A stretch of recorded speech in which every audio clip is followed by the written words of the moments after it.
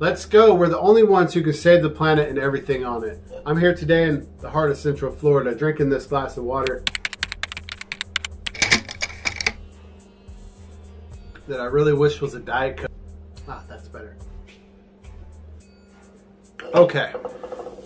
Today we're going to talk about how a judge's order to save this critically endangered species could make a difference. Why millions of migratory birds are flocking to central Texas. The woman, the myth, the legend, Jane Goodall. She's learned everything she can possibly learn about chimps and what her next big move is.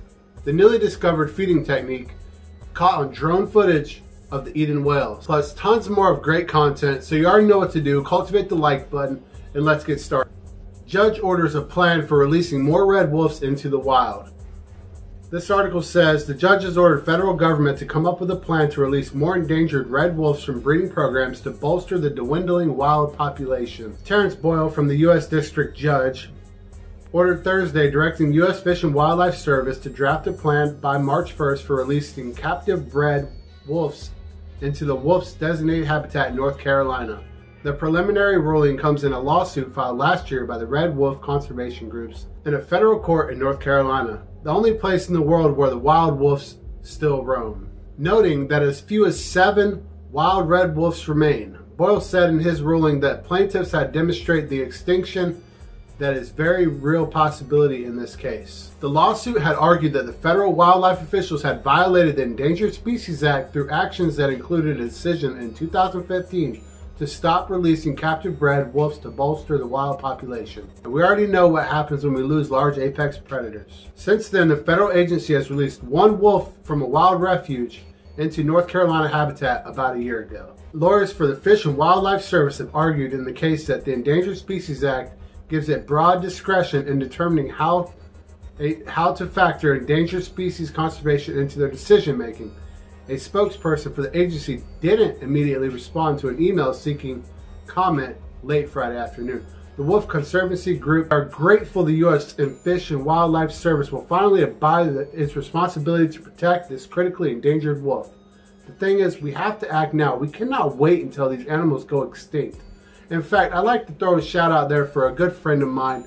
He creates some of the best videos I've seen it's Backyard Expeditions, and he talks about the de-extinction of animals. And he really covers all the topics. And you can actually find him in the comments every so often in my videos. And I just want to give him a big shout out. He does some great work, and he's really working hard to help conserve and preserve these animals and wild places. So uh, thank you for all you do, man. Why millions of migratory birds are flocking to central Texas? It's due to a drought. And it says, they say the early bird gets the worm in the case of the American robin, known scientifically as Turdus migratorius, because they have some of the most beautiful migratory spectacles. We have them here in my yard. It's beautiful every year. I've actually been doing a lot of consideration on what I should plant in my yard because of the need of these beautiful migrating bird species. Their food of choice is actually the Ashe's juniper, uh, juniper berries, and from my research, I found that they uh, feed, I think, 60% on fruits and then other things like insects and worms and stuff they find in the soil. But during the wintertime, Ashe's juniper berries are typically found in abundance in the American Southwest, which is where you'll find this migratory bird.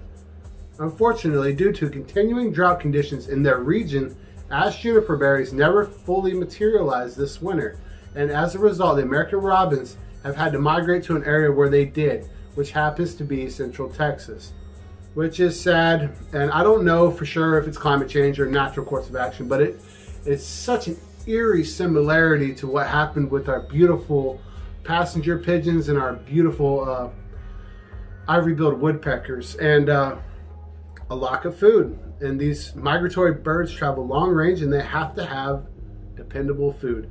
I'm glad to hear that they're able to find the food they need in central Texas. If there's anything you can do for the American robins, uh, maybe just go on Google, find out some of your native um, flora so you can plant it and then perhaps when they migrate through, which in my case, I think around March, I start seeing uh, quite a few of those beautiful American robins. Jane Goodall announces she's all about lizards now. And it goes on to say,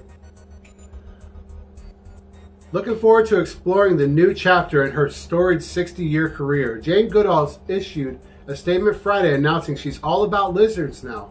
Gila monsters, bearded dragons, Komodo dragons, and the list goes on and on. You name it. If it's a lizard, then I probably like it. The 86 year old scientist who explained that while chimpanzees had a good run, it is time to turn her studies towards a group of reptiles, which are over 6,000 thrilling species to enjoy. Hopefully, it's only a matter of time until I consider one of the world's foremost expert on skinks. So she really likes skinks. We have a few native skinks here in Florida, uh, at least four or five that I can think of. I'm going to spend some time living in the Gecko Society for a bit. It's got a beautiful picture of her holding this, uh, it's some form of an iguana. I can't be sure if that's a rock iguana. It doesn't look like a green iguana, but uh, she's in the Galapagos Islands in Ecuador. Uh, Dr. Goodall added that Jane Goodall Institute would immediately begin reallocating all its resources from protecting great apes from poachers and trafficking to protecting geckos from snakes.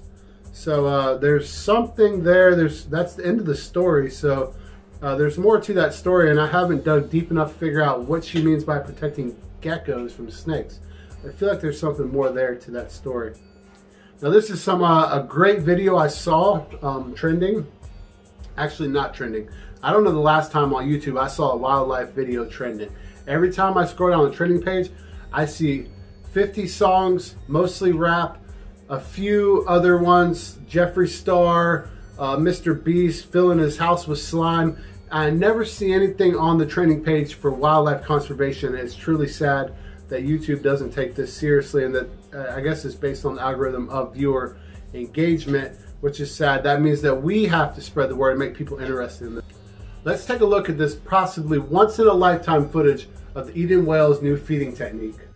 This extraordinary behavior where the whale treads water is thought to have developed because pollution has made the Gulf of Thailand hypoxic environment. Sewage outflows from the land have caused all the oxygen in the water to be used up, except at the surface. This means the whale's fish prey can only live at the surface layer. By treading water and keeping the corners of their mouth below the surface, a flow is created pulling the fish into the whale's mouth. In the panic, some of the fish also seem to jump out of the water and into the whale's mouth.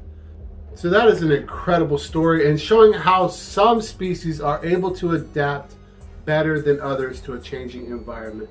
That's a great story for our American robins and another great story of the Eden whales and their ability to adapt. Does not mean they've overcome these situations. It means that they got through these situations we just don't know how many of these kind of situations these animals can actually get through. So really it's up to us to do things like make sure we're not polluting our gulfs and stuff with toxic sewage because that's just horrible. We, we all know better than that. Come on. I want to thank everybody for watching this Good Morning Outdoors video. If you liked it, please cultivate that like button and help this channel grow into a channel that it should be so we can get on the trending page as well. If you like this video, go and check out some of our other videos. And I appreciate you. You'll have a good rest of your day. Happy Saturday. Good morning to you. Peace.